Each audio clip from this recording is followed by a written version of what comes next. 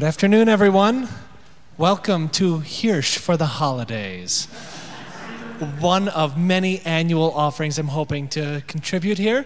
Um, I'm very delighted to present this program, but before we get into it, I'll just start with the first number. How about that?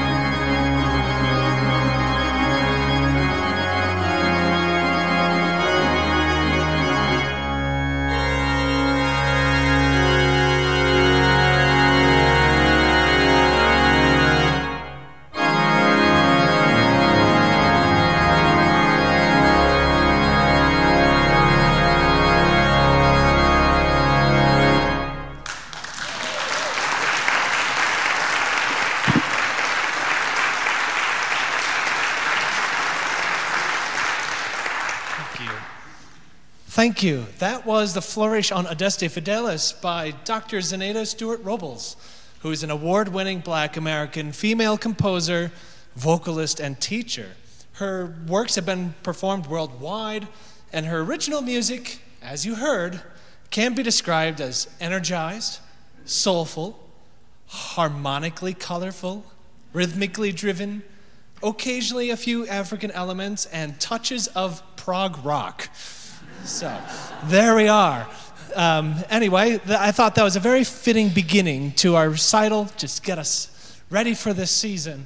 I'm excited about this concert because not only am I doing some things from Christmas, but I'm sprinkling in some Advent and even some Hanukkah uh, works as well. Um, but before we get there, we go to Bach. No recital would be complete without Bach. And so I'm going to be performing his first trio sonata in E flat. Now, what is a trio sonata? It's exactly as it seems one part in the right hand, one part in the left hand, one part in the pedal. No chords, just single lines, all interacting with each other contrapuntally and creating the harmonies through those interactions. You hear the melody passed between right and left and feet. And depending on where you are in this church, you might even hear some antiphonal work with the instrument going back and forth. The first movement is just a jaunty, joyful little thing. The second movement is a beautiful interplay between our flutes. And then the third movement is just festive. And yes, it's not technically related to a holiday, but it's joyful, so why not?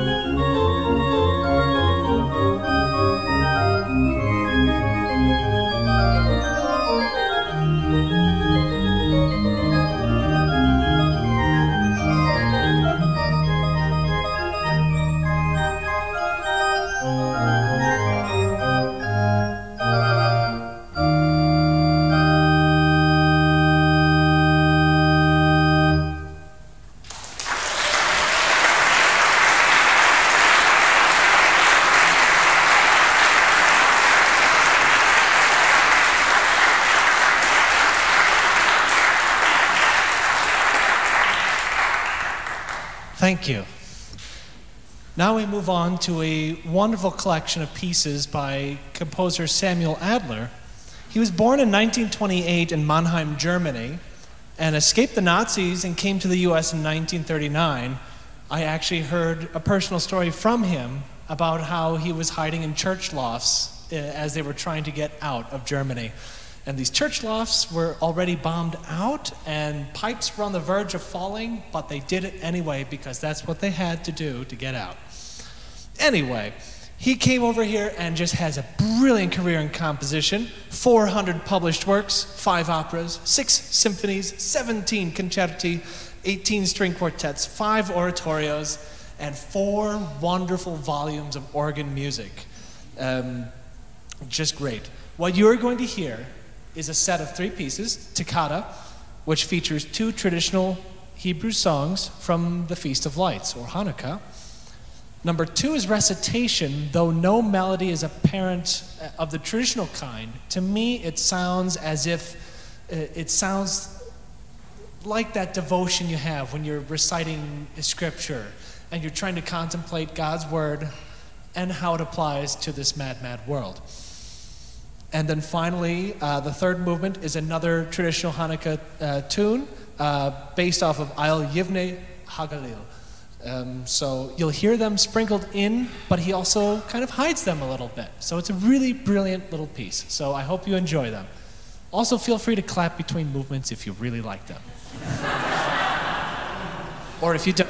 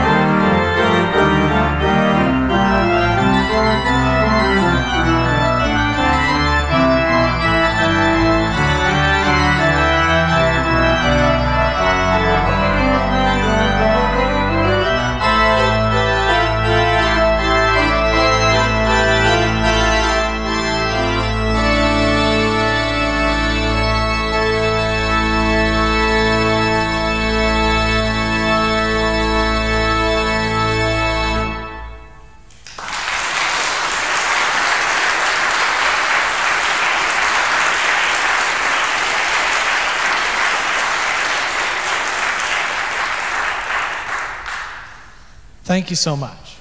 Next up, we have a work by Leo Sowerby.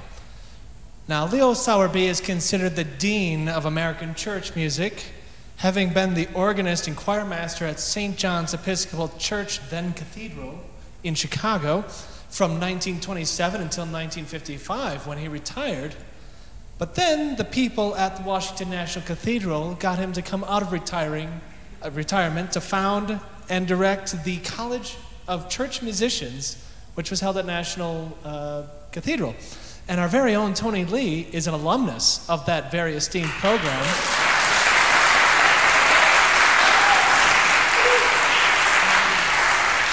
So, in essence, I only have one degree of separation between uh, myself and Sowerby. So, thank you, Tony. Um, this work is from a, set, a collection of pieces that are meditations on communion hymns. And the communion hymn that we will be focusing on now is the tune called Picardy, known to us as Let All Mortal Flesh Keep Silence. Uh, this is a lovely, uh, uh, lovely treatment of the hymn that's very reflective. Um, if you want to follow along with the words, though they don't necessarily match outright, it's more of an internal um, internal reflection on that. But if you wish, the hymn can be found number 324 in hymnal 1982 in front of you, if you want. But if not, no worries. Um, you will hear four verses with little interludes in between, kind of a rise and a fall, but a gentle reflection. Enjoy.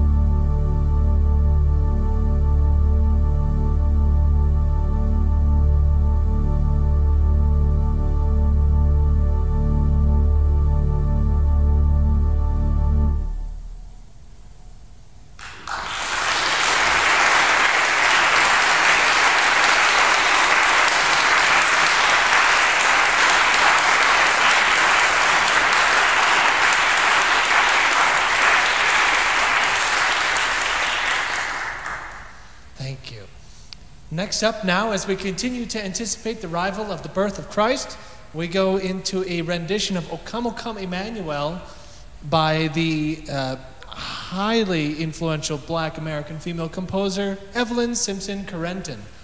Um, her works, she's been commissioned by the American Guild of Organists, Duke Ellington. She's arranged music for Kathleen Battle, Jessye Norman.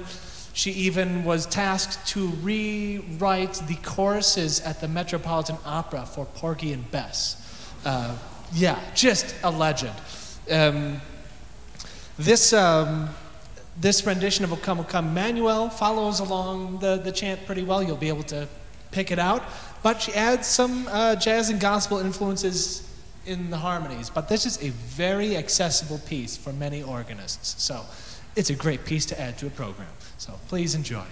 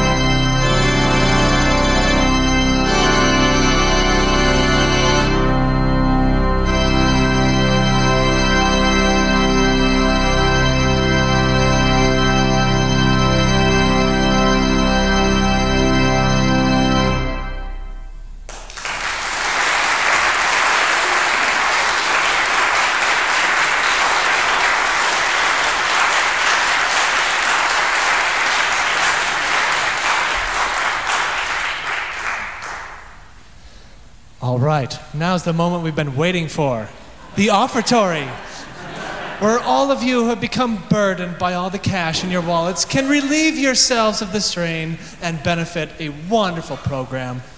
No, in all seriousness, this program would not be possible without all of your support, and especially today's recital is, has been completely underwritten by Father Marc and Debbie Smith. So thank you so much.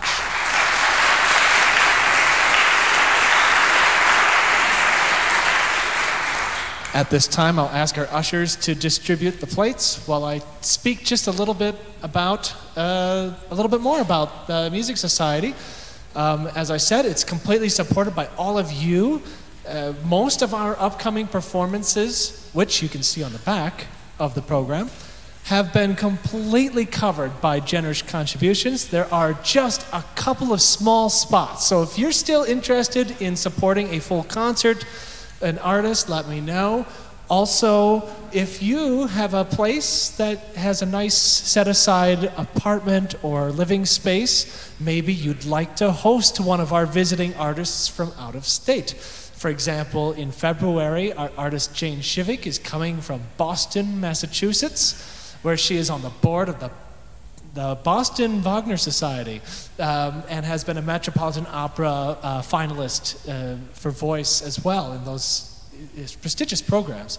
Um, there's also, uh, at the very end of the season, two of my colleagues in May uh, will be doing a program called Organic, Certified Organic Opera. yeah, that's great. Um, I'm going to be myself transcribing these arias and duets from the original orchestral scores for the organ. We can come forward now for the uh, collection. Thank you.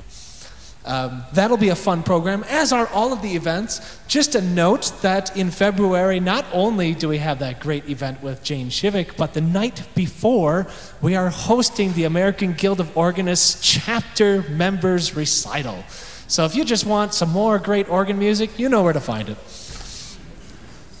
Then, another note you'll notice in the program I will be hoping to offer organ lessons in the new year. I'm looking for anyone who would like to learn more about this instrument, their own instrument, maybe better their hymn playing, maybe look into repertoire. Maybe you're a beginner who already knows piano and would like to start the grand adventure on the greatest of the instruments, in my humblest opinion. And, uh, my email is in here. Contact me if you're interested. Spread the word. Um, we, we've got not only this phenomenal instrument here at St. John's, but there are a, a variety of wonderful instruments in the region that can be uh, played and learned, and so that we can continue, uh, just continue the presence of organ music in Boulder, which I think is a very important thing. Um, so, yeah, organ lessons. It's a good thing. All right. You'll notice that I put this break right before the big piece. Um, I need the time to collect my thoughts as well. But let's talk about this next piece. Marcel Dupré, one of the great French organ composers and performers, um, also a contemporary of Leo Sowerby. They were existing together, um, as you can see in their birth dates on the program. Uh, Dupré studied with all of the greats in France, Alexander Guilmant, Louis Vierne, uh, Charles-Marie Widor, um, all those greats. He became the professor of organ performance and improvisation at the Paris Conservatoire and has been famous for performing over 2,000 recitals throughout the world, most of them by memory, including marathons of the complete works of Bach.